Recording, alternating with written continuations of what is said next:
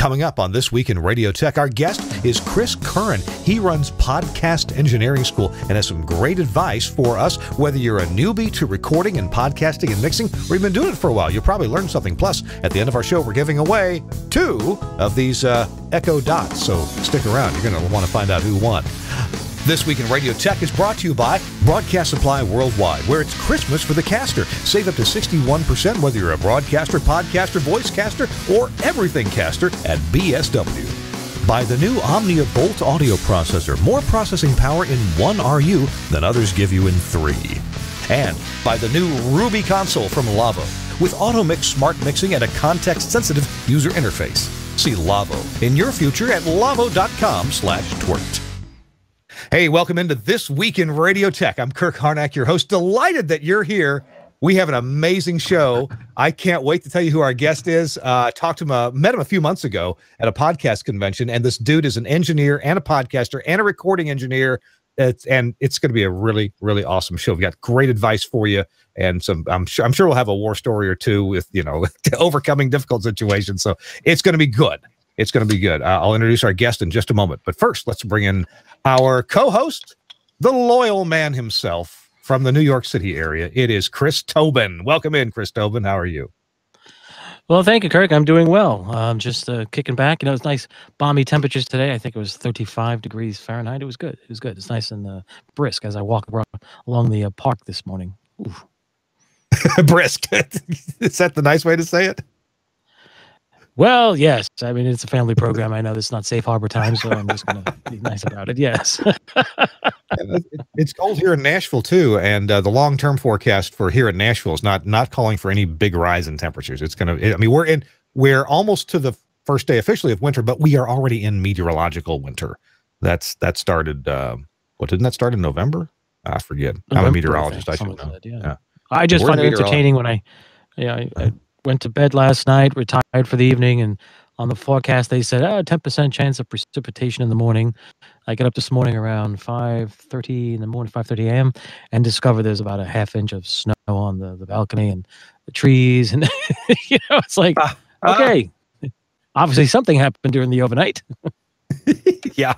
You know, actually, here in Nashville, um, I was doing the weather this past weekend on the local NBC affiliate. It's kind of like my little side job I do for fun, and luckily I make some money at it too.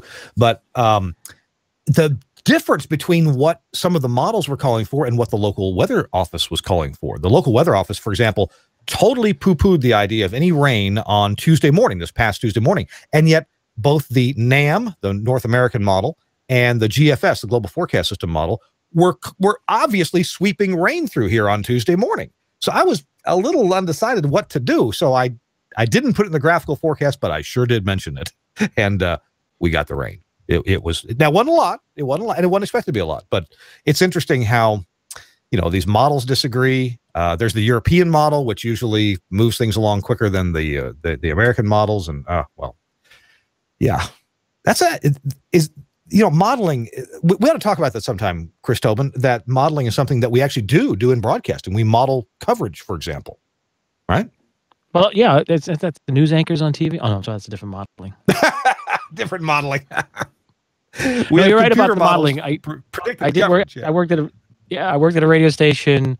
Uh, our weather guy, a local weather guy, I worked for the local cable television news channel, and um, Joe Chaffee was his name, uh, is, is, his mm-hmm. name, uh, Long Island meteorologist, and he would always come to the radio station, or we'd have him on the phone or ISDN, and we talk to him offline and just say, "What? How does this all work?" And I used to call him the weather gorilla because he was all about the weather. He just loved it. He was science. He was meteorologist. He went full tilt. I mean, he could tell you things.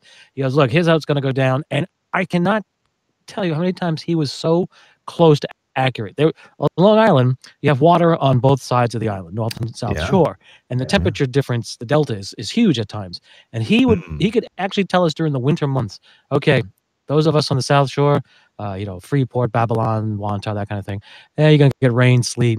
Those of you on the north shore, in Oyster Bay, Great Neck, Manhasset, you will see snow. And I kid you not, we would take the van and drive on a north south pattern right across the island. And sure enough, it's sleety rain on the south. And as we're coming up over the hump past what's known as the Long Island Expressway, 495, and mm-hmm. then all of a sudden it starts snowing as we go up into the northern part. So wow. it's modeling yeah. is an interesting, you know, it's, it's part of the, int- I guess, part of what meteorology is about. But he, he was about the science, though.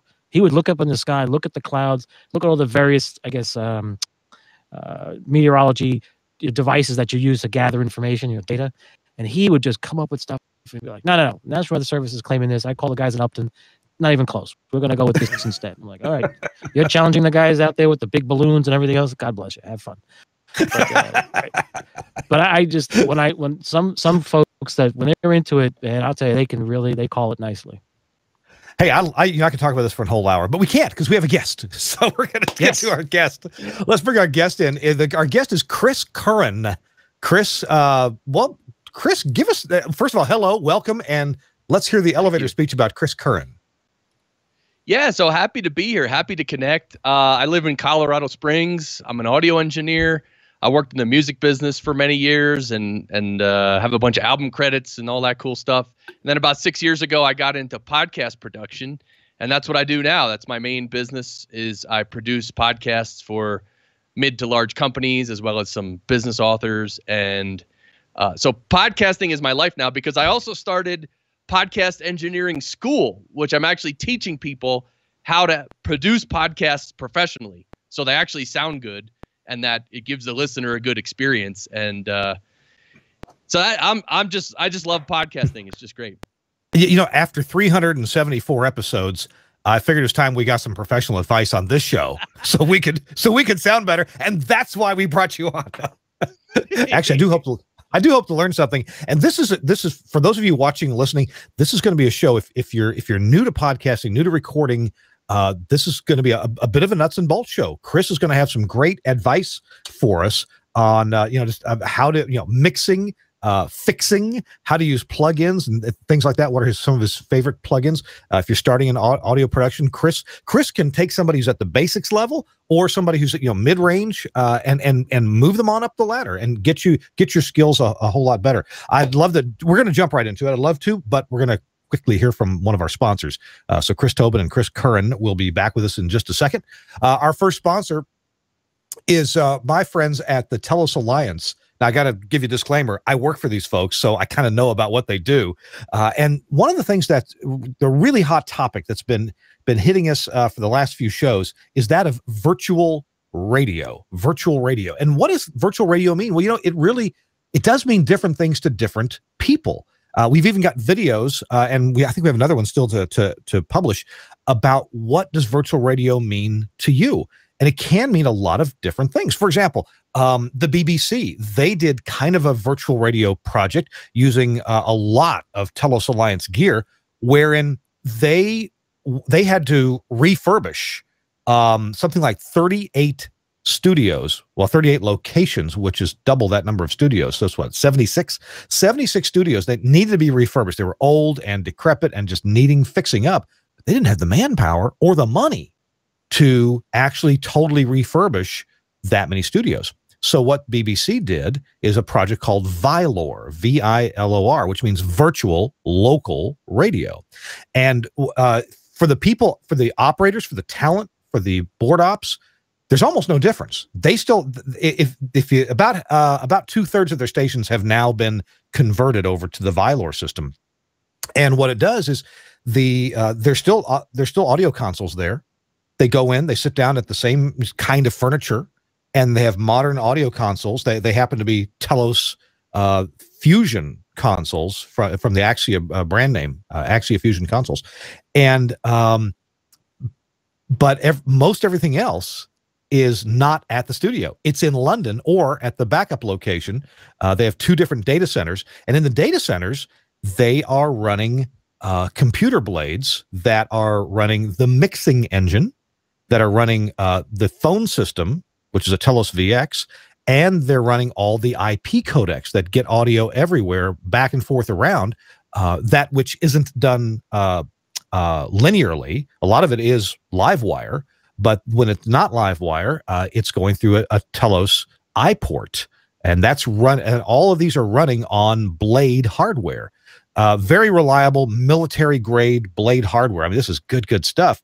And they therefore they were able in each of their data centers to concentrate, you know, what would be literally racks and racks of equipment and power supplies and and uh, switches and all this kind of stuff. They were able to to get this down to just a few. I'm honestly, they can run it out of one rack. One six foot rack in London can run all the radio stations out in the field. They have plenty of backup though. Uh, and redundancy. So they actually end up taking up about three or four racks uh, in London and at their backup location, uh, so that each studio out in the field, they get a surface. They they get the usual work surface. They get microphones and headphones and all that. Some things are mixed locally at the local studios things that you know need to have no delay like you know microphone to earphones right? Uh, that that just stays local. Uh, and then the feed of that goes on to london. Bottom line is it's really cool. And that's just one way of virtualizing. It's kind of an early way of virtualizing. Well there are more methods coming down the pike. Some are being some are implemented right now. For example uh, a lot of people are starting to use this new product from the Telos Alliance called the IP tablet. This lets you create a console on either a tablet or a touch screen um, and lets you just create what you want. If you need seven faders, you can have seven faders. If you need three faders, you can have three faders. You can put your phone system on this. If you need three phone lines or 12 phone lines, you can design that individually. If you need two codecs to come in on this, you can have that too. If you need your automation system to also show up on this tablet, well, as long as your automation system can spit out, can talk to you using HTML5, and there are several now that do, and plenty more are on the way, then you can just do this all on a tablet, on a on a uh, on a smartphone, um, uh, and also on a big touchscreen. So we've got examples of all of those. Bottom line, find out about this. Virtual radio is coming, and it doesn't mean that there's nobody at the studio anymore. It, it could mean that, or it could just mean that the people in the studio have a lot less stuff in their way, and the engineers get to take care of stuff in a different way than they used to. Uh, it's really efficient. It's very cool, and I'm telling you, it is the future of where radio is going. Main, eh, eh, a little, little by little, or a lot at a time. I think you're going to see it snowball at some point. And, um, I, and you know, in the long run, it's not a bad thing. Sure, you can still have local studios with traditional gear, but you can also do amazing things with touchscreens and tablets uh, and automation that's in the cloud. All these things are coming, and the Telos Alliance is really on top of this have products right now and a lot more cool stuff in the pipeline. So if you would check it out at the at uh, telosalliance.com and uh, let's see. Uh, I think I, I sent that that link along there. If you go to Telos, oh, uh, you know what? I'll put the link in the show notes. It's actually success.telosalliance.com slash virtual dash radio. Well, that's a lot. So let me put that in the show notes. You can click on it, or you can just go to telosalliance.com, hunt around, find the virtual radio uh, page and read all about it, including uh, Frank Foti's uh, interview about virtual radio. Thanks to Telos Alliance for sponsoring this week in radio tech. Appreciate it. Okay. Chris Curran is with us. And Chris, let's just jump right into this. Uh, some of the things that we talked about. Well, you've got a, a company, Fractal Recording, which, by the way, great name. I think, you know, the audio sounds great no matter how far back you are or how close you are. It's fractal. Is that, is that what it means? That's awesome. I love fractals. I love, and I love sound. I mean, isn't it amazing how sound is so important in every area of our lives, including anything with video. Obviously, there's sound too. So I just love, uh, you know, getting good at sound is so important. Um, and there's so many ways to do it. One of the things about sound, and, and Chris Tobin will absolutely attest to this, when, when you've got when you've got a video show, video and audio, if the video's bad, your brain can handle it. If the audio's bad, oh, you just want to tune away. You just, unless it's something you've just got to hear, you don't want to hear it. Yeah, it's it's it's a big, you know, in in the podcasting world, it's sort of this debate that keeps on going. Is that, you know, some people will say, don't worry about the sound or your tech or, or your tech, just start your show and talk about what you love to talk about. And then there's guys like me and, and all the the good podcast coaches out there will say, no, the sound is important, but you only have to sound. And again, this is for novices. You only have to sound good enough. You don't have to sound yeah. like a million bucks, but as long as it's not too distracting for the listener and doesn't sound like you're in an echo chamber and all this kind of stuff, uh, that's okay. But man, it's important. I I would agree with that, and uh, and Chris um, Tobin, you you would probably uh, agree that getting a good sound is probably easier now than it ever has before. But there's still some fundamentals fundamentals that that people need to adhere to. Just just mic technique that really hasn't changed in 30 or 40 years. You, you need good good mic technique. Uh, Chris, we're going to let Chris Curran jump in on this, but Chris Tobin, why don't you kind of preface that part of the conversation about about uh, how uh, the tools today are fantastic. You can get perfect quality, but you still need to use them right. Uh, well, that's true. Um, today it's much easier to get a microphone like the one Chris is using, which has got a audio out and USB output connection. You can put that into a computer, laptop, desktop, whatever you like. The trick is what I when I help people out that call me up and ask for a podcast, you know, guidance. Um, two things. One, microphone technique is important. Understanding how to use it, what to listen for. The second thing is monitoring. How do I listen? Now you could use uh, earbuds if you'd like, the little tiny ones you get with your uh, you know audio device, or pair of headphones. Now I say this only because I have worked with some cameramen who have shot video and tell me the audio is just fine, and they're using these little earbuds, you know, that you walk around the subway with, and I get the video product back, and I'm like, you really didn't pay attention. So those are the two things I always try to stress with folks. Put, put a pair of headphones on, listen to what you're doing. Like I'm talking to the microphone in this manner, and you see I'm a little off center. So if I'm if explosive, popping my peas, if the phrase as the phrase goes, it sort of doesn't really get picked up. If I talk into it and pop pop pop go away, I try to explain to people as the differences. Those two subtleties, if you can get past that or not past it, understand it. I'm sure Chris can uh, embellish even farther uh, further. There's that's that's 90% of it. After that, you should be able to talk about whatever you like, and people should be able to hear you just fine. So, with that, let's uh, get Chris Curran's advice because you're the one who doles out this advice. Talk to us uh, what you tell budding podcasters about audio production and, and the tools that they that they need, and, and and then how to use them. Yeah, I like what you said, Chris, and very true. Those two things are very very important. Uh, another important thing is that I think the average person doesn't um, that doesn't understand they, they don't hear the noises around them very much because they're not mm-hmm. paying attention like just regular life noises for instance someone might start a podcast and you tell them about mic technique and you tell and they have they can hear themselves okay in, in, in their ears but then you know they're sipping a drink and they put the drink down or then they're tapping their foot or you know there's a fan on three feet away from them you know i always have to tell people that you really have to like you're not in your office anymore. You're in a recording studio. Or wherever mm. you are, you're in a recording studio. So you gotta be quiet and even even breathing as well. Like like people oh you know oh, again yeah. that's kind of mic technique but it's kind of the same thing like you have to be aware of what noises are happening and don't make any extra noises that that's, that's, so true. true. yeah you know what reminded me of this just the other day? I was listening to, I think I was listening to the radio, and they there was a guest. No, I was listening. To, I was listening. It was, it was a podcast. I was listening to a, uh, a, podcast, and they had a guest, and the guest was on the phone on a regular. You know, it, it sounded like a like a uh, a good old Western Electric telephone, and the get the guest on the phone, they would say something, and then they would, then they would go. oh yes, I hear that often. You know, I, Chris Curran, if you've got a guest who is a, a, a mouth breather or even a, a, nose breather, I mean, if they're just breathing into the yeah. phone while you're trying to answer their question or respond to what they said, is there anything you can do about that other than fade them down on a fader? Hopefully, they're on their own fader.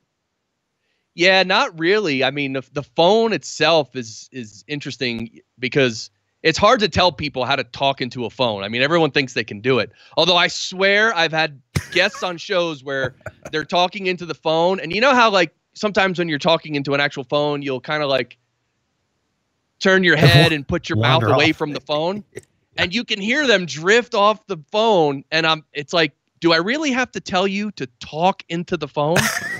so that's weird. But yeah, if, if someone's a really heavy breather in a phone, then yeah, I just it takes a lot in post production to go through and because you can't put a gate on it, and it, you know even the right. there's a deep breath um, module in RX6, which is one of the soft main software that I use to fix bad audio. There's a deep breath module, but still, if it's someone on a phone, it's hard for the software to to to know if that's a breath, and it's it's it, it's just tough. It just takes time in post production. What what what's something that kills me is I've I've got a, a friend, wonderful guy, love the guy, but when I I hate talking to him on the phone because on the phone he he always he always tucks the phone under his triple chin. The, the, the bottom the bottom of it here, you know? He's a little heavy and it's just yeah, you know yeah. his his his DNA is such that uh, most of his weight comes in the form of of extra chins. And you can't it's out oh. so dude, um can can you hold the phone up near your mouth again? Oh, I'm sorry, I thought I was. no, yeah. it was under it was under your chins. and oh, yeah. So the, the, remote guest, you can't even give them a visual cue, right? Uh in the studio, you can you can kind of look at someone and go, you know, while they're yeah, talking, yeah. you point at the mic. Yep. the mic, right? You point at the mic.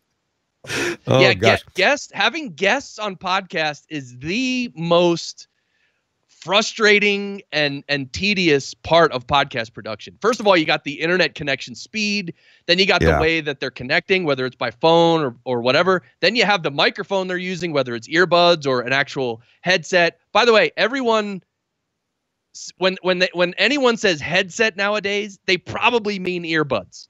Uh, and I, yeah. I consider a headset a headset with a little arm coming off the side in front of my mouth everyone says, "Oh no, I'm wearing a headset," and I, every time I say, "You mean earbuds?" and they say, "Yeah, earbuds," and I go, "Okay." So, and then you know, with the earbuds, it's got the microphone on here, and it it like flaps around, and it's like you got to have people hold that wire the whole time. I actually have them hold the wire still the entire time, so that mic doesn't flap around.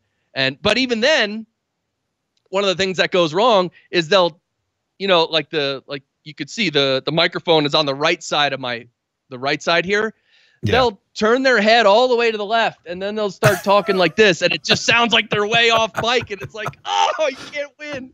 Oh, oh, gee, you, you know, actually, that's a um, a good point in that when, when I'm doing TV weather, um, the the the side of the green screen that I stand on and look at the camera is different at the TV station I'm at now versus the the other one. I used to always put the the, the lapel mic on my left lapel, and the place I'm doing weekend weather at now, uh, that I'd be away from the mic all the time, looking at the camera. So now I have to put the the belt pack on the right side of my body and and the mic on the right lapel, so I'm always my voice is crossing over the microphone when I'm, you know, my I'm, my head is turned to look at, at the camera, and it makes a difference. So that's yeah, I I, I can see how that would be a, a problem with with guests. Wow. Hey, uh, um, we're going to get to this thing about plugins a little bit later on because plugins is is an area of of of um, technical expertise that a lot of I think broadcast engineers probably don't have. I certainly don't. So I want to hear about how you use those. But let's talk about two things, uh, Chris, that that you mentioned uh, the other day to me, and and those I I, I love the, the the the alliteration here: mixing and fixing, mixing and fixing. how how do you cover these two subjects with people who are in your your school? Well, let's start with fixing. Um, one of the good things about podcasting is that usually it's not broadcast live as it's being recorded. Sometimes it is, but even if it is, you still have time later to sit down and do post production. So you mm-hmm. have time to go through the tracks. And what I do when I produce podcasts is every single track, and of course I try to always try to record each person on their own track because oh, then I oh, can oh. manipulate it later. That's pretty. Talk, talk to me. Talk to me about that. Now, you know, this show that we do, we've done the show live for years, and we don't record people on their own tracks. But when um, I was associated with a, a different podcast network, the the Twit.tv network, uh, they wanted to record every source on its own track so they could go fix things in post. And I, as a broadcast engineer, I thought that was pretty unusual because usually in broadcast we deal with mono or stereo, and rarely individual tracks unless you know you're the imaging guy at the radio station. So, yeah, talk to me about how you know how would people normally do that? How would you accomplish recording each participant in a podcast on their own track? Yeah, so I have a whole studio here in my basement where I have a mixer, and of course the mixer is the center of my studio, which is it's the center of every studio basically. And then I have four different laptops set up, and I literally have an audio interface for each laptop, and then I bring in one person on each laptop, and then I run it through my mixer, and then I can run it out of my mixer and record each track separately. Mm. And also at the same time, I can run each uh, run a mix minus to each participant as well, so they don't get feedback and all that. Uh, so that's one way to do it. But again, then you need a bunch of computers and a and a good mixer with at least four aux ends for the mix minuses. Not everyone can do that. That's why now there are services like Zencastr and Ringr, which it's almost like uh, it's almost like a Skype group call, mm-hmm. but it actually records each participant in the background without them knowing it. It records each participant on their local computer, and then as as the as the episode is going, it'll in the background it'll slowly upload that audio. So that local recording of each participant is is crucial because it's not going through the internet. So there's no glitching, there's no there's none of that crap. It's just everyone's local track and then at the end you end up with everyone's local track and it's really helpful. Now it, in in the two person form of this, interviewer interviewee, I think the technique you just described is called a double ender. Um and uh, Chris Tobin, you have worked for networks that did double ender recording. Can you describe what that is? And then we'll let Chris talk about it in the multiple person. Because I'm curious about in broadcast, we typically don't do that, but I, I think you have some experience in that, Tobin.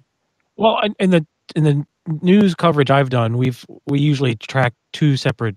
It's two separate tracks on the camera. When we've done uh, audio recordings, it was always two separate tracks, so we could manipulate and post. Um, there's various techniques that people use, and it's changed a lot these days. Uh, matter of fact, in the work that I'm doing here with the music, we will. Uh, we just did a, uh, a conference uh, the other night were panelists of uh, four people, and each one had a track on the little Tascam box. We have a Tascam D70, I think it's called, and it lets you track literally record four separate tracks onto an SD card, so we could work with it in post. Um, there's different names for it, different techniques, and um, and what Chris is pointing out is very handy. It's it's actually probably the best thing you could be doing. In broadcast, single tracking was done a lot in certain places, but not everywhere. I know stereo mono is what everybody's familiar with, but I know I worked in a few radio stations when we did uh, artist interviews. We always tracked the artist and the jock on separate tracks and then did the music. Um, I know it wasn't very popular, but that, that was around for a while. You know, and, and the first time I heard double ender was in relation to NPR, that they would do interviews. A lot of times NPR would do interviews with people in either in New York City or in Washington D.C. Just a, a lot of the people they talk to on on their you know, morning edition, or, or, you know, yeah. And, and back then though, they would send a courier with a cassette recorder out to the you know out to the senator's office, right? And so they would record. I mean, they they would the, the reporter from NPR and the senator, let's say, would talk on the phone. And of course, it was easy to record the reporter at NPR. They were right there in the studio but the guy, the courier on the bicycle would have a uh, would have this cassette recorder and would be holding it up near the senator while the senator's on the phone. Then the dude would run that cassette tape back to NPR, and where they would dub it over to a multi-track reel, and they would you know line those up, and then they would you know all you know they wouldn't but, use the phone audio. The phone audio was there just yeah. was kind of like metadata at that point, right? That's what so that's anyway. what they call tape sync. That's that that's the tape, oh, tape sync. sync. Ah, okay. Yeah, okay. double ender was used for a long time, and then something changed and now it's known as tape sync. I, I do we do that a lot here. I did I just uh, two weeks ago did it for the BBC for three different documentaries where they had the guests for the documentary here in our studios. The BBC correspondent was on the phone and they were talking, chatting. I recorded the studio audio and heads and tails and put it on an FTP site. And off they got it that afternoon and next morning they were up and running on the BBC Radio One and Radio Two, and they were having huh. their thing. So yeah, it's it's known as tape sync, and yes, NPR does it a lot. Um, matter so, of fact, a lot of news agencies do it. That would pretty well confuse me. So tell you what, let's let's get Chris Curran. Why don't you talk about this technique for getting a podcast produced with the highest possible quality? Uh, if anything goes wrong with the IP connection, you've got this um, locally recorded version that gets sent automatically in the background as a file rather than as live audio. Is, is have I got that concept right, Chris? Yeah, yeah. So just to back up to the double ender, the way double enders are usually done in podcasting is the host, it's obviously their show. They will obviously they're recording themselves and and recording the guest over the VoIP signal or the phone.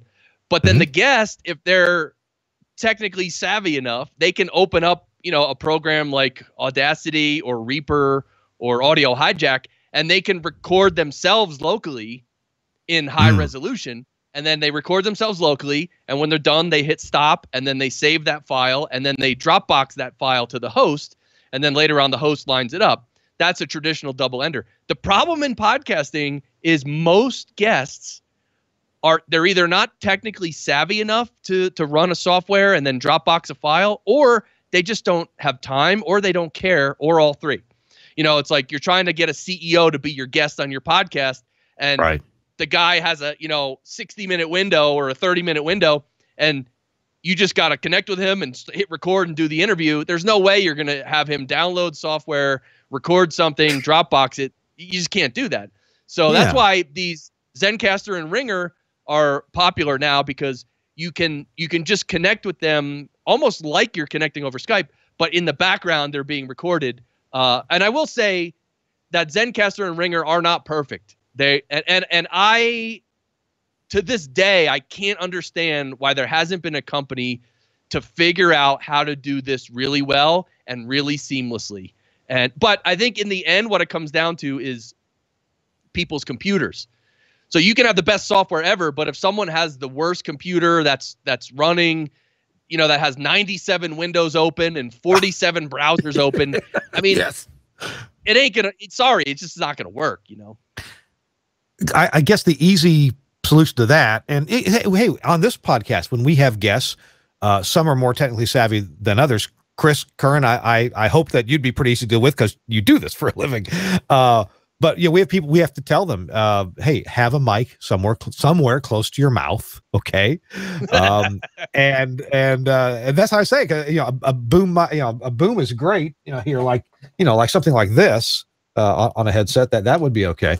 Um, but get them to reboot their computer you know an hour before the show starts. So if there's any windows updates that maybe we can take care of that in an, inside of an hour. Um, and and don't open a bunch of other stuff. Just reboot and you know open your skype and then we'll do the show. That that that's helped a little bit when they follow that that direction. Yeah it does help when they follow the directions. And and so fixing bad audio is the first thing i do. So when i get the tracks or i record a guest or anything um, first i'll open it up in some software and I'll look at it and I'll, you know, sometimes there's a hum, sometimes there's a lot of like background noise, like a fan running or a, you know, something like that. Oh, so yeah. I'll sometimes do noise reduction and get rid of any hums. And a lot of times I'll take out some of the low end, you know, um, the really low sure. end, like literally 20 hertz and below. Sometimes there's all kinds of data there, which you don't need because you can't even hear it and um, and it affects the level of the audio because it you know the, the low end carries more energy than high frequencies. So I'll just clean it up the best I can. Uh, and so and then I bring everything into my multi-track DAW, and that's where I do my mixing. And the mixing is again, I come from the music industry, so I'm used to mixing songs. So literally, mm-hmm. I I mix podcast episodes as if it's a song. I have the music on a track. I have each person on their own track, and I add yeah. EQ and compression, and I'll I'll you know I'll really massage it so the levels are good, the music's good, fade things. Uh, mixing is the thing in podcasting that separates the uh, the adults from the children, so to say, um, and it mm. an art. It really is. Hey, uh, if you just tuned in, we are uh, talking with uh, Chris Curran, Chris of Fractal Recording and also Podcast Engineering School. We'll give you the uh, the the the uh, URLs for those uh, as we move along here.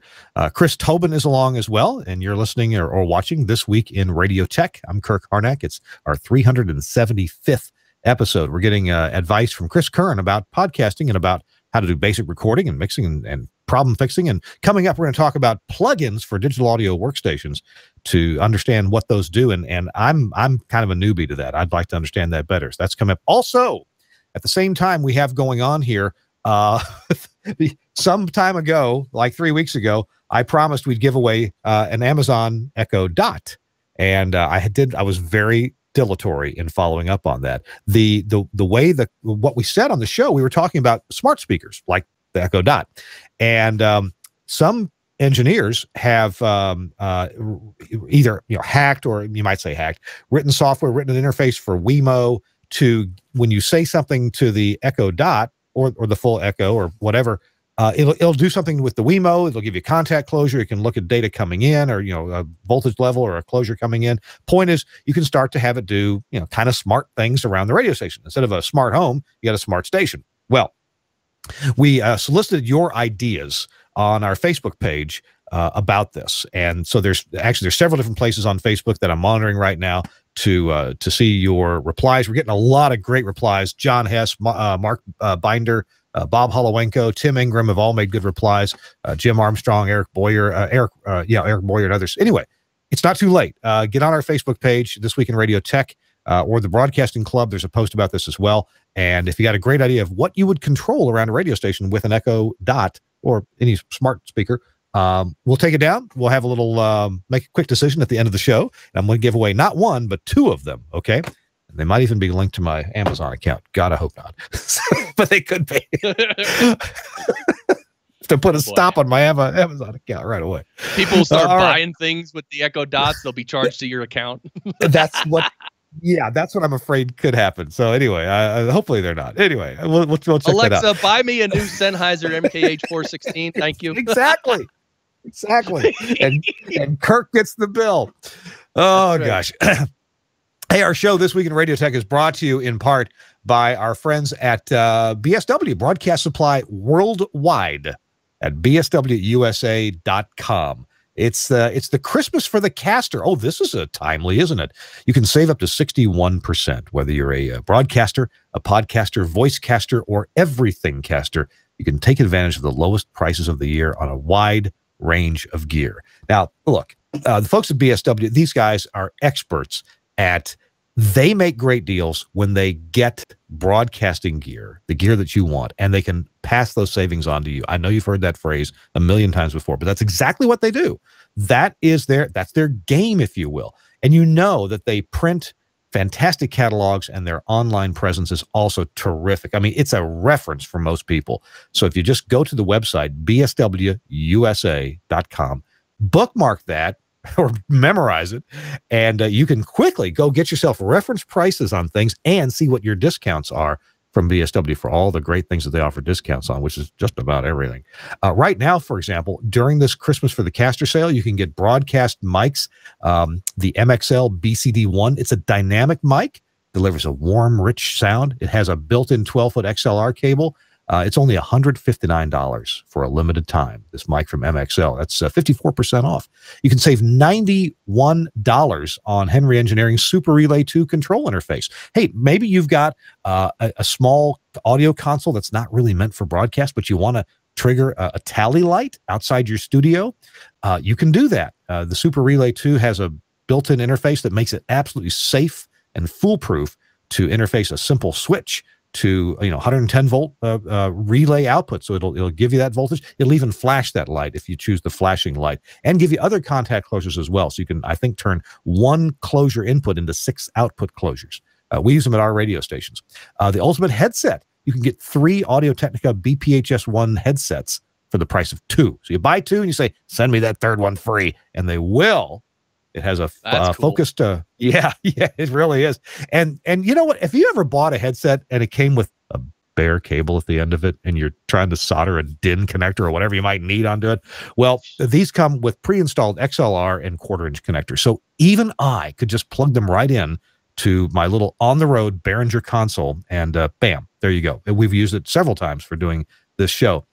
Finally, I want to uh, mention uh, the uh, my favorite mic processor for a single mic. And that is, it's inexpensive and it's very effective. And it's the DBX 286S. Hey, if my camera cable was long enough, I'd, I'd point it down here under under the table and show you mine. Uh, it's a it's a just a great voice processor. It does basic stuff and it does it very well. And I love the downward expansion. That's what I really like because it gets rid of room noise. If you've got a little bit of background noise, it just if you shut up, it shuts up. And it's thirty dollars instant rebate on this DBX 286S mic processor uh, with this real studio quality uh, mic instrument preamp. Four processors inside. They do different things and uh, of course, there's EQ, there's de-essing, there's compression, and there's downward expansion. And uh, it's it's it. I mean, for gee, for the price, it's just awesome. Uh, they offer free same day shipping for that too. Free? What?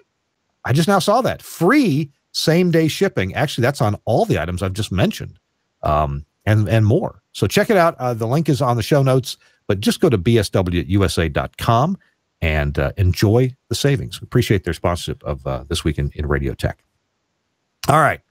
Let's see. Chris Tobin, are you still hey, with us? By the way, yeah. I have a good friend who uses those Audio Technica BPH S1, the headsets with the mic. Um, he he uses them when he does podcasting on location. So he'll show ah. up somewhere and him and his wife will wear them and they'll hand one to the guest and the guest will put it on and they just you know they don't have to have mic stands and everything. They just they just roll with that and it works really well for them it does work well, and guess what? The mic stays in the right place. So that, that's what, you can you can move around, and the mic just stays right there. You know, uh, yeah. The thing with the headsets with the little boom arms that come off, what in my experience, sometimes if if you put it in the wrong spot, you'll hear a lot of breathing.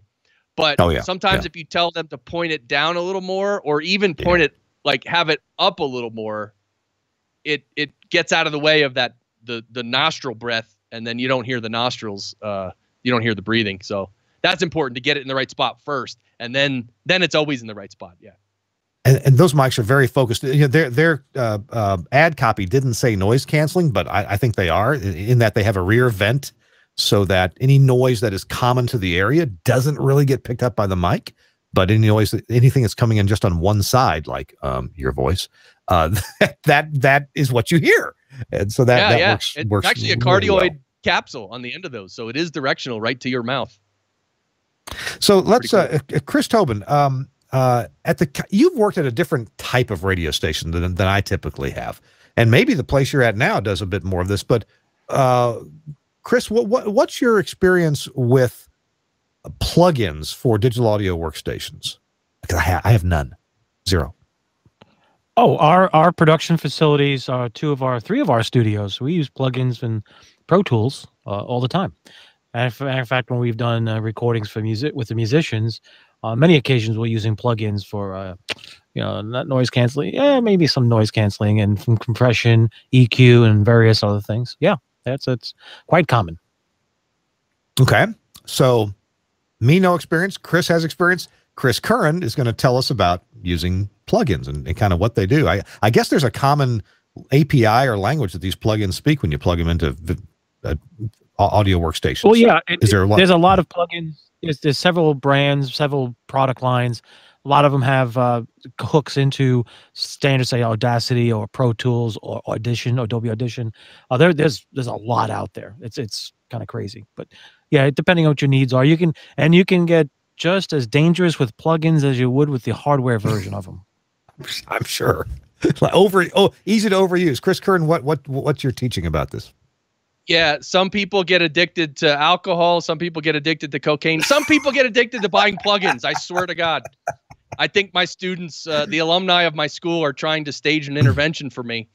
Um, no, so so plugins are are you know in the old studio when you're you're you have a big mixing console and you're mixing a record and you want to put an EQ on someone's voice, you you you put there's a whole rack behind you of EQs and compressors and everything. It's physical gear. It's like audio processing gear. And so you can run the vocal through the EQ and you turn around and you mess with the EQ and you make it sound good. And then and then of course you add compressors and you add a bunch of stuff to all the instruments and everything. That's called mixing a record. And that's what plugins are in a computer. It's literally like plugging in one of these EQs from the rack but it's all virtual. It's all in the box, and it's awesome. And one of the great things that they've done, and they've gotten really good at this in the in the last few years. Plugins have been around for a long time. I mean, at least, oh God, probably 15, no, 20 years, 25 years or more. I don't really know. Long time. Uh, and recently, they've gotten a lot better at modeling classic gear. So if you want, you know, an LA2A compressor, which is like one of the best compressors known in music production, there's a plugin now that does that exact thing. And they have modeled the plugin off of the physical piece of gear. So it hmm. actually sounds a lot like the physical piece of gear. And that's awesome, which means now you can have your software, you can have your multi track DAW, and you can just get some good plugins. And all of a sudden, you transform this, you know, plain vanilla DAW into an awesome, you know, mixing tool. And so plugins are are just great, and you can you can chain them together. I have I have a standard plugin chain. It's probably 15 plugins, and I don't always use all 15. Usually, I use three or four or five. Uh, but I but uh-huh. I always apply 15, and then I just turn them on as I need them at, to what I what I think it should sound like. So. So awesome. in day to day use, what, what's your what's your top three plugins? What what are your go tos that that you know what I, I I need to fix. I know I need to fix this, or this is such a typical problem. I'll fix it with this plugin. And then, do you have a plugin that kind of like finalizes stuff that you just apply to everything because you like the, what it does? Yeah. So in that sense, and I'm actually pulling up my uh, my plugins here, my list of plugins. So to start real quick with the finalizing thing you just mentioned, yes, mm-hmm. I have a plugin. Uh, it's well, it's a plugin, but it's it's also standalone software. It's from iZotope. It's called Ozone Eight, and it's mastering software. So it's you know in broadcasting, you guys know you have the limiters and the compressors, and you just you you smash the audio, and then then it goes out the door. In music, it anytime you mix a record, it goes to a mastering engineer, and he finalizes it or she puts the fi- finishing touches on it, compresses it, makes it louder, and then then it goes out the door with podcasting, most podcasters don't use a mastering step, and that's really, really bad because, you know, if you've ever been in a car, I remember once I went to uh, Vegas for a conference. I think it was the, um, I can't remember which conference. Anyway, I drove, and I drove through Utah, and in Utah the mm-hmm. speed limit I think is 85 in some places. I'm going down the highway 85 miles an hour. I'm trying to listen to podcasts, and the dynamic range is so much that when the host gets loud, it hurts my ears and I'm like, oh, turn it down. And then, of course, when the host starts, you know, they start just mumbling. It, it goes down below the noise floor. I can't hear it anymore. So I'm sitting there riding the volume. And that's the number one thing that that makes uh, that frustrates listeners of podcasts is that it it the dynamic range is too much. And why? Because the people producing them they don't know better. So you can actually in your DAW on the master bus, you can put a mastering software and do some compression, some limiting, some EQ, some ex, ex, use an exciter. There's all kinds of stuff you can do, uh, and that finalizes it and glues it together and makes it louder with a little less dynamic range, uh, but it still still has life. It just it it's not going to dip way below that noise floor. It's because it's not only driving in a car. It's you're on a you're jogging on a treadmill that the treadmill's yeah. loud, right? A lot of these things are loud. Um, so I'm looking at my single plugins here.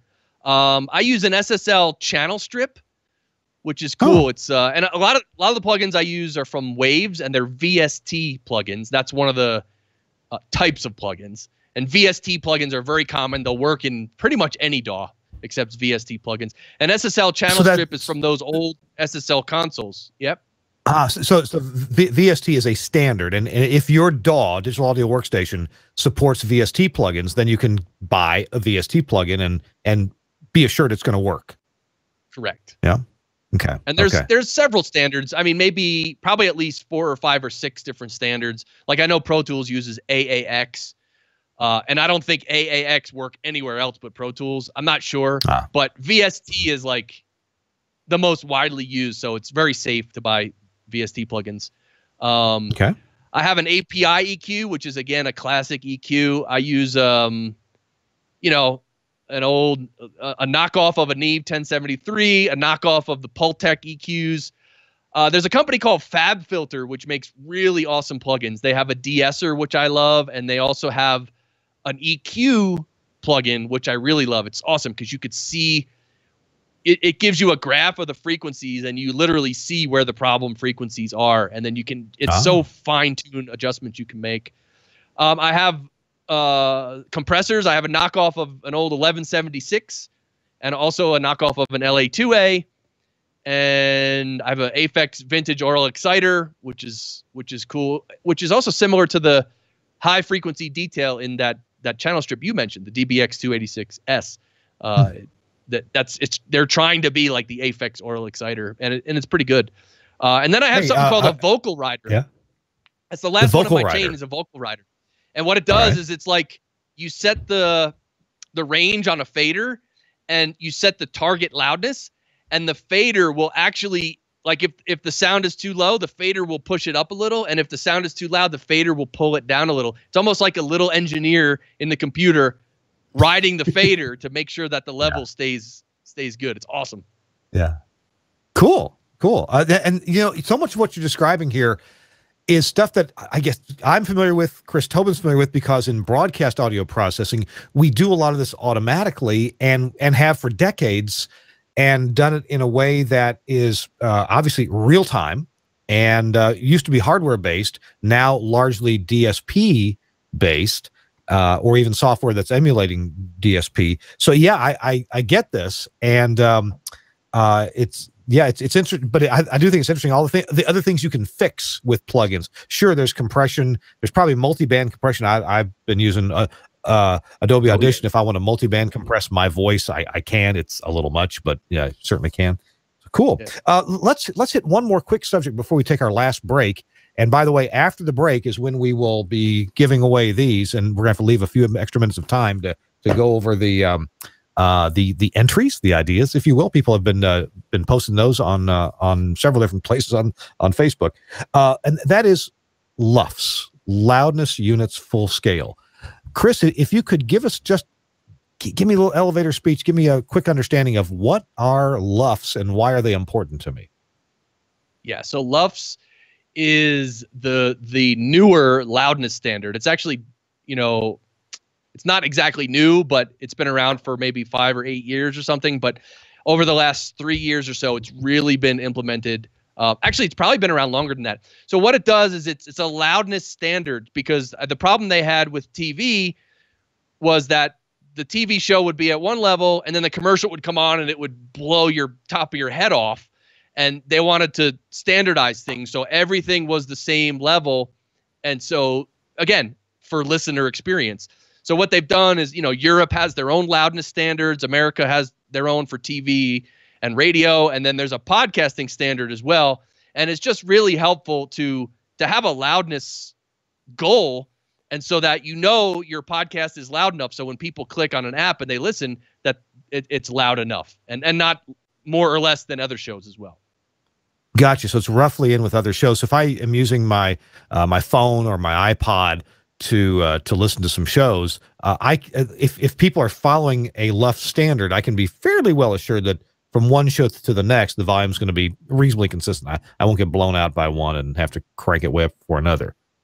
Yeah, yeah. And then even during the show itself, um, if you're using a well, of course, if you're using good metering technique with almost any ballistic of meter, VU or PPM or Nordic style, uh, all different kinds of meters. If you're using good technique, you're, you're gonna you're gonna be okay anyway. But having that luff standard that really does measure loudness the way your ear perceives it, that's a real good tool to have. And you can measure LUFS, by the way, in a in a short integration, you know, of, of, of I don't know if it's a second or less, a medium integration of a few seconds, or a long integration of say a whole show length uh, it's helpful to see these different integration times uh, so you can tell um, uh, hey man i'm i'm really loud right now but uh, but uh, overall i'm still okay anyway it's a yeah we, exactly. we can consume a, a, whole little, show with this topic yeah it's kind of tricky how how to uh, evaluate a whole podcast episode let's say and and and mm-hmm. give an average loudness of it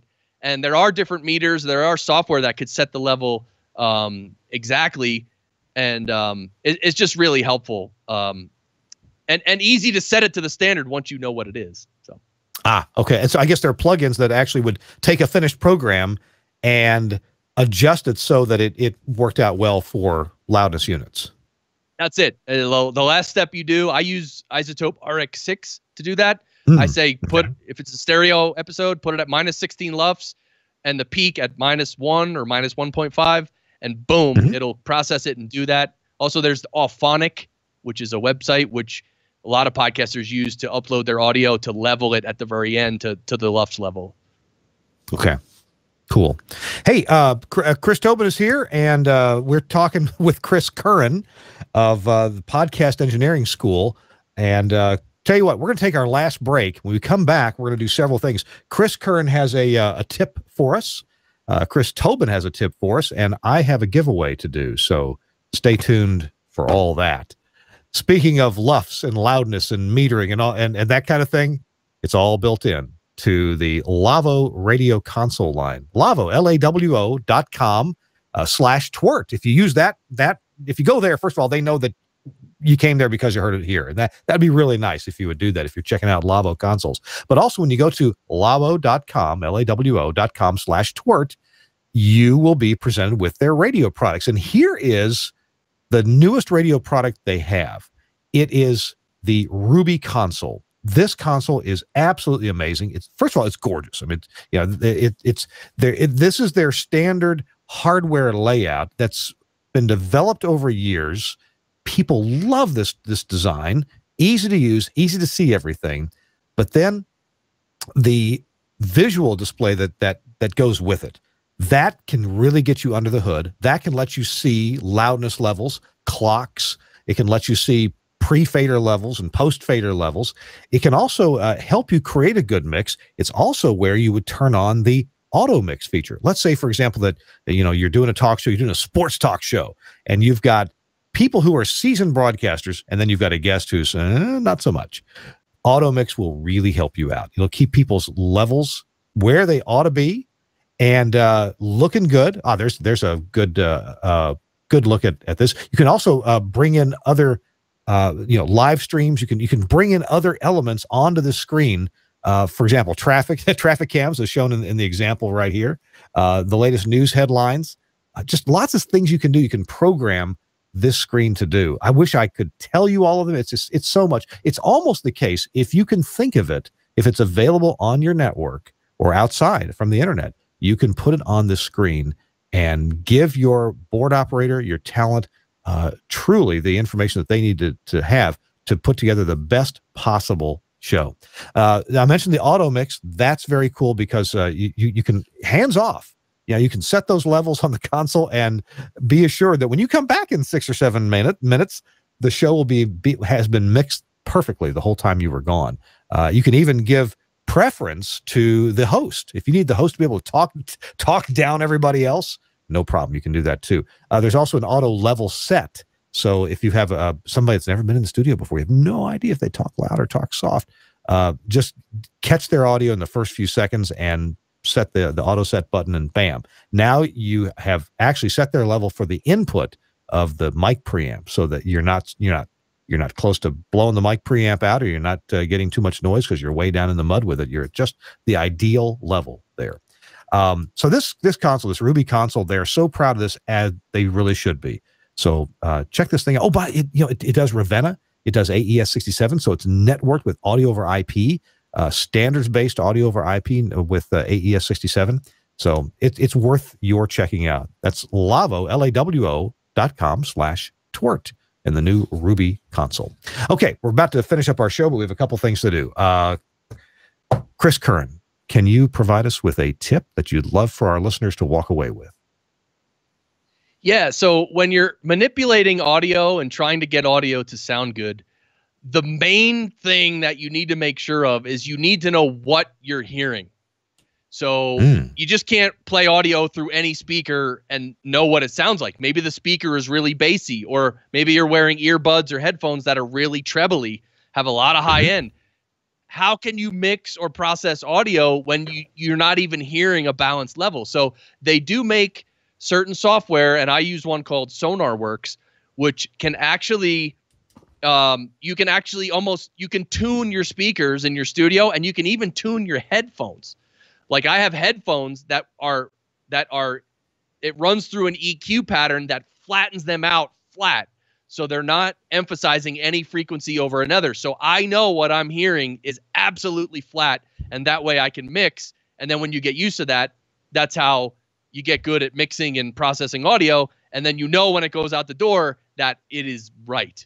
So they do make software. SonarWorks is one. There's also another big brand, but there's a few. But very handy to tune your speakers and headphones.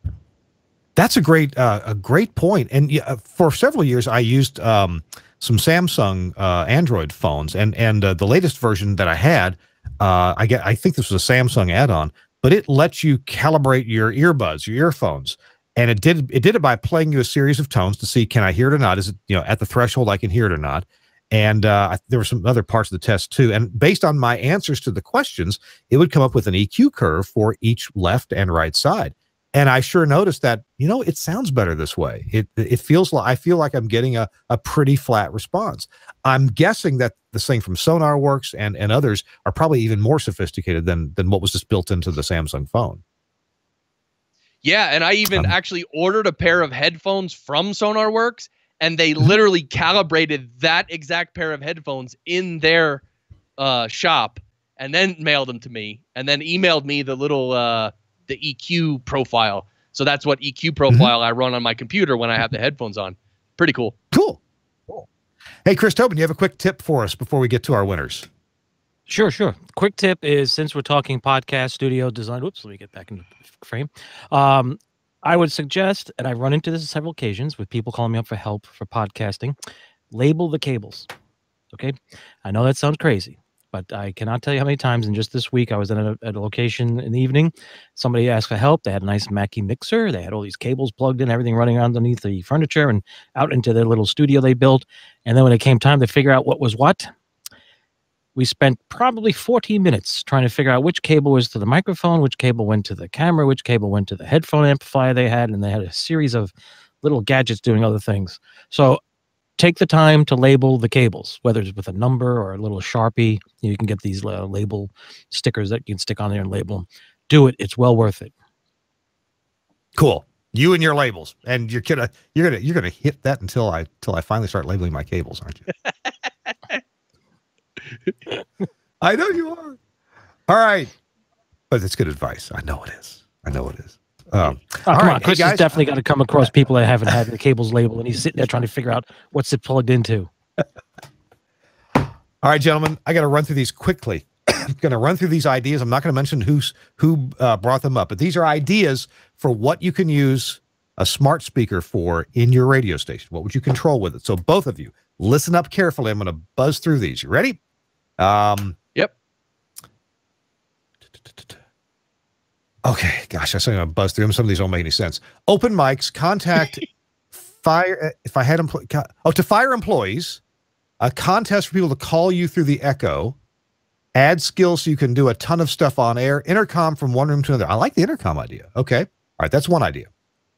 Another one is I'd use it to watch the meter readings of the transmitter, monitor, and read them out to me if there was something outside of the threshold. The other thing would be have it dump the delay if someone messes up. Too bad it's not always listening, or else you could have it recognize certain colorful words and do that automatically. Well, that's true. Because yeah, when you wake up, uh, one of these devices typically only listens for about eight seconds. After that, only eight seconds of audio gets passed on to their uh, their computers. So there, there's an idea. Um, another gentleman says, "Put uh, put tunes in the GM's office because I'm a good little brown noser." Okay, so just put it in the GM's office. Um, someone says, use it to control Pathfinder. Now that's Telos's Axia's software to do route switching and things like that. So use it to command to command. Uh, yeah. Uh, hey, uh, blah blah blah. Tell the transmitter to start playing Studio Three. You know, so you could do a switch that way. Uh, somebody says turn on the coffee maker. Of course. Somebody says answer the phones. Oh yeah, maybe you could maybe you could just answer the phone with that. I don't know if we. Uh, somebody says um, the weather guy and the pizza orders. I'm not sure what the weather guy refers to. Maybe just ask for what the weather is, but pizza orders. All right. Here's a voice control idea. This guy says, My company is creating a listener engagement platform integrating the, with WideOrbit. We could have she who shall not be named, look at our database and find out what songs are coming up next on the station. From there, she would convey that information to the listener in either her voice or with a recording from on air talent. If the listener likes or dislikes any of the songs, they could tell her. Uh, and the data would be stored in our analysis, letting the station know that a real time listener doesn't like what's about to play, allowing the station to make a correction, either manually or automatically based on PD rules. Okay. All right. Um, someone else says, uh, this idea is, is a replacement for a cue tone. For example, the latest news begins with a cue, and now for the latest news. This cue opens up the network or the recorder on the hard drive that is being keyed to present the news by speech recognition. At the end of the newscast, the news presenter says an ending cue that switches the network to local and speech recognition software. Also, cues can insert spots and PSAs, which dumps the network spots and brings the local spot that covers local commercials. Okay. Wow. And there's another more ideas. Uh, use voice synthesis. I always thought that it wouldn't it be great to have to look at a board that has a circuit on it of a transmitter, which every single component was under test and visible. Whereas the guy, okay, so basically use it to do to do uh, troubleshooting, where it might say capacitor 123 is going bad. That would be that would be cool. I don't I'm not don't know how this would do it, but maybe so. Um, the voice synthesized program reads who, what, when, and how say Dr. Zutz. I, am not sure I understand this. How uh, the computer comes out with a copy that can be voice synthesized to spit out copy. The salesman sells the copy, stating the fact that the message is there without talent.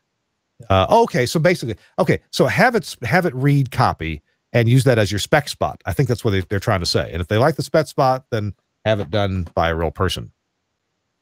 Um, Somebody else says we are we are actually are automating switching studios using Pathfinder PC, the Axia product. Being able to use voice would be really awesome. I can think of having it used to send message to our main office to our DJs on the air. I've done a lot with automation, so putting an echo dot in the mix will definitely get me into trouble with the other engineers. Okay. Uh, one engineer says it would control a sledgehammer that hits the jocks when they talk too long. Okay. Uh, somebody says I'm controlling. I'm already controlling tons of stuff at the station we are getting one of these in each studio. And he's showing the the uh, the one that's got the screen the amazon echo show. All right.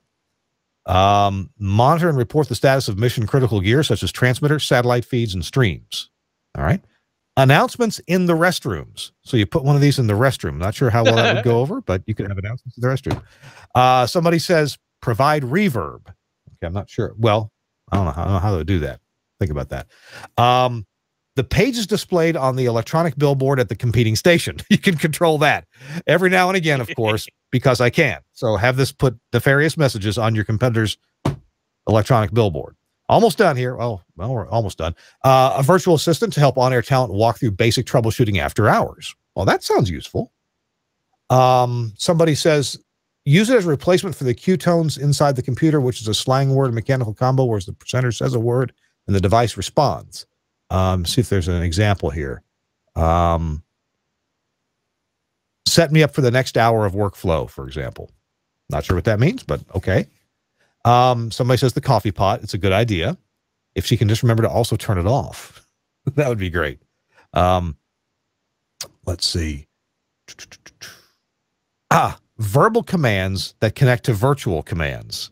So you're verbally telling something to happen, but we know that that's in the virtual world which eventually has to go touch something, you know, in, in the hardware world, probably.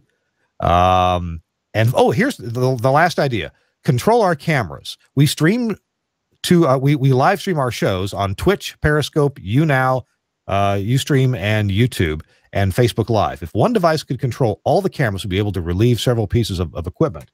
So, uh, like like a like a director, would you say, uh, camera two, two shot, camera one, over the shoulder shot, Camera one, pan left a little bit. Maybe he's talking about that.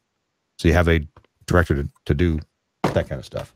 All right, gentlemen, Chris and Chris, do any of these strike you as standing out as being like, yeah, that sounds like a candidate? Which one? Uh, the number two on the list was it? Number two from the top. Second one, 3rd mm-hmm. one. What was that again? Uh, well, the, the second one was um, uh, I'd watch meter readings, transmitter, monitor them, read out, read out them out to me if something was outside the threshold. Uh, also, have it dump the delay if someone messes up. Too bad it's not always listening, or you could have someone recognize certain colorful words and dump automatically. Right, right. Now there was, was another one after that. Maybe. Uh, the, the, oh, well, uh, use it to control the Pathfinder. intercom one. Use it as an intercom. Oh, the intercom one. That's what I thought was the intercom one. Yeah. Okay. Sorry, let me uh, let me real quick search for uh, search for that one. I, I, mm-hmm. this this has been several pages worth. Yeah, the intercom one. You have several dots around the facility. That'd be cool. Uh, of course, I can't find my search function. I'm going to vote for the intercom one, and I just have somebody waving me at the studio window. I'll be right back. right. Uh, intercom. Okay, so the, the full one was open mics, contact closures, fire employees if I had employees, uh, contest for people to call you through the Echo, add skills. You can do a ton of stuff on air, intercom from one room to I, So we all like the intercom. We all like that when that was read. Okay, so I'll reveal yeah, that, that name. I'll reveal that name in just a minute. But I've got two of them to give away. So that that that could be one. What's another one that sounded good to you? I realize I I had to buzz through these. There were so many. Um, I kind of like the one hmm. where it monitors certain things, and if it goes something goes out of bounds, it'll tell you. I, I kind of like that. That's pretty cool. Yeah, I like that too. Uh, and I'm not I'm not all sure how that works. So let's see. Um, that would be okay. So this one, uh, uh, well, a couple people mentioned transmitter monitor, um, and, and, other things. And if something goes out of bounds, let you know. So I've got, let's see, this is, uh, hmm, and this is, uh, and two people mentioned uh, monitor transmitters. Let me see if I can real quick find the other one, and see if we can give a, a consolation prize. Uh, yeah. So we had two people actually mention that. All right, one one got there before the other did, I think. So here's our winners. Sorry, it's 13 after the hour. Uh, the first the first winner is Tim Ingram. Tim Ingram, congratulations. I'll be in touch about shipping this to you. Tim Ingram, he had uh, the idea of open mics, uh, contact closures, maybe fire employees. I don't know how you do that. Uh, contest people to call you through the Echo add skills. You can do a ton of stuff on the air. Okay. And, but the key thing there, intercom from one room to another. That would be an interesting skill. The other winner, Bob Holowenko. Now, Bob has actually been a guest on our show before and is full nice. of great ideas. Uh, yeah, so Bob Holowenko, he's in Canada. I'm not sure if it's legal to send these in Canada. Hopefully, it is. we'll, we'll, we'll, do that. And but but another gentleman had an had a similar idea about about uh, monitoring transmitters, and that was Jeff Wiggins. Jeff, I have a consolation prize for you. It's a microphone, a condenser mic uh, that I have used on the show before. I've got I've got a couple here in my office, and uh, so um, that'll be uh, hope, Jeff. I hope that's good for you. Let me see. I can, oh, this is a cool one. Ta da! That's for you, Jeff Wiggins, as your consolation prize. Okay. Okay. Good. I'll, I'll take care of the details on these things, and so congratulations to our winners, uh, Tim Ingram, Bob Holowenko, and Jeff Wiggins. I think we're done now. Awesome. Are we done? Okay. Chris Curran, of, co- of course, the time went by way too fast. There's plenty more we could talk about. So I hope you'll come back again sometime and we'll focus on maybe one subject. Maybe, you know, hey, I met you at that microphone display where I tried out, I don't know, what was it, 127 microphones? yeah. It was like 10, 10 mics. 10 mics. Right in a row. Okay. Yeah, that was awesome. That I was a podcast movement. And uh, we had a, re- all the best you know, podcasting mics, broadcasting mics, and well, not all the best, but a lot of them.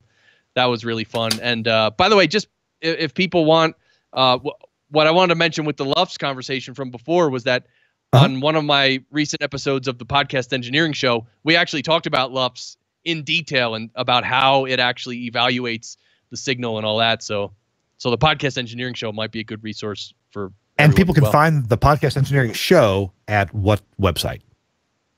Uh, podcastengineeringschool.com. So that's okay. Just search for podcast engineering school and you'll find everything. I'll put that in the show notes and you've just mentioned it. So we'll make sure people know where to find podcastengineeringschool.com. You'll find podcasts there as well as you can sign up to take your course and become a podcast engineering expert and really, really improve your podcast game. All right. Yeah, Chris totally. Tobin, thank Thanks, you Kirk. so much for being here. I, I, you haven't left yet, have you, Chris? I'm here. No, I'm here. We, we had a small problem. Drum kit I know fell apart. Hurt. Drum kit fell apart. Snare drum on the floor. It was a mess. Oh no! Oh. Really? it's okay now that they were waving at the window in panic, and cymbals, hi hats went down, and snare drum stand fell, and uh, it's it's good now. We're good. it was pretty funny. That's what well, were they banging on the window to get equipment? Were they wanting to get you to fix it? And your answer is, I'm an engineer, not a drum kit fixer. uh, well, I'd like to say that for fun, but no, I'm not Dr. McCoy. cool. hey, thank you. Thanks so much to both of you. We'll, we'll be back next week with another uh, edition of uh, This Week in Radio Tech. Tell your friends. Thanks to Chris Curran. Thanks to Chris Tobin. And thanks also to uh, Suncast, our producer, for uh, switching the show and making it look good. I really appreciate that. And thanks to uh, Andrew Zarian, the founder of the GFQ network. We got to go. Thanks for watching. Congratulations to our winner. I'll be in touch, and uh, we'll talk to you next week on This Week in Radio Tech. Bye bye.